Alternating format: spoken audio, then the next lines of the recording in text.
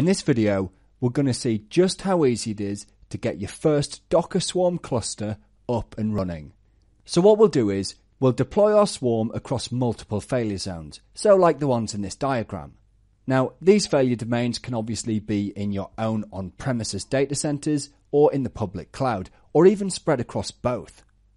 Now, we'll install a single discovery service backend, something to maintain the state and the configuration of our swarm cluster. We'll also deploy a single swarm manager. Then two swarm nodes. And over here, we're going to have a Docker engine client.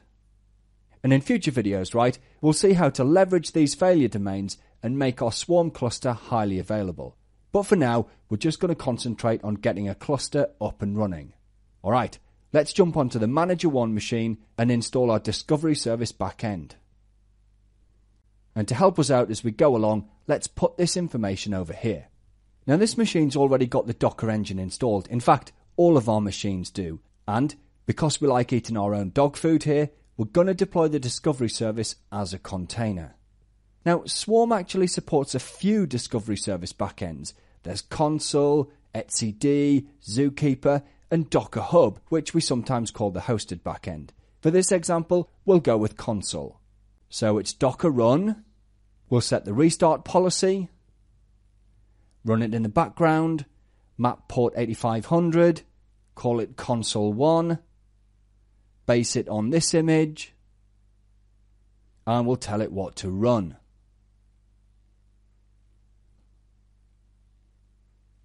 Great. That should be our discovery service up and ready. Right, there it is.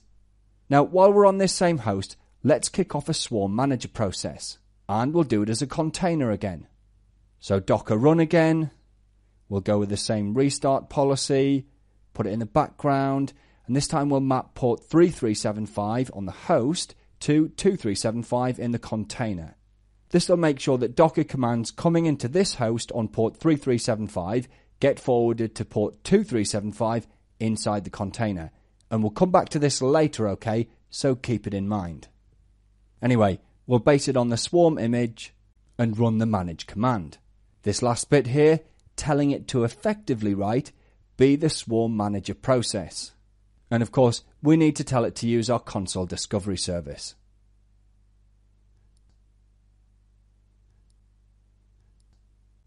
Another quick check. Cool. Now that's effectively the management side of our Swarm cluster built and ready to go. All we need now are nodes to run some containers on. Now, we can add nodes to the cluster by running more Swarm containers, only this time we'll run them with the join argument.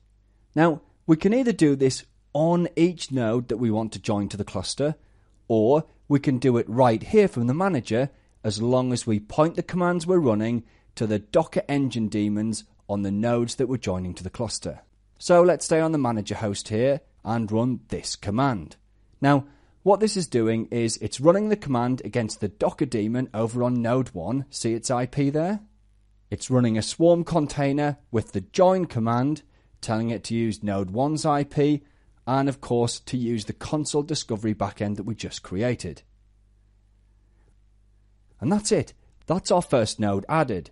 Same again for node 2 only we changed this here to node 2's IP and then this as well. And there we go. That's our entire cluster built.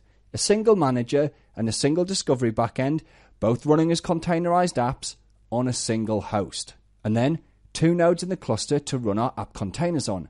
Couldn't be simpler.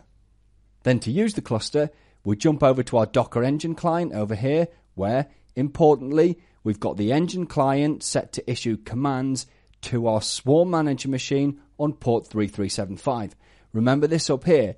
Commands coming into the Swarm Manager on 3375 get forwarded to the Swarm Manager container on 2375. Then the Swarm Manager container takes those commands and issues them against the cluster. So if we go docker run, put it in the background of the terminal, Ubuntu and bash right?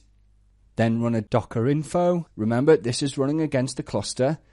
And there we go. So three containers running on the cluster. That's the two swarm containers on each node that actually joined them to the cluster, plus our Ubuntu container that we just launched. And we can see here it's running on node 1. Couldn't be simpler, right? Well, in the next videos, we'll see how to make the Swarm Manager and the Discovery backend both highly available.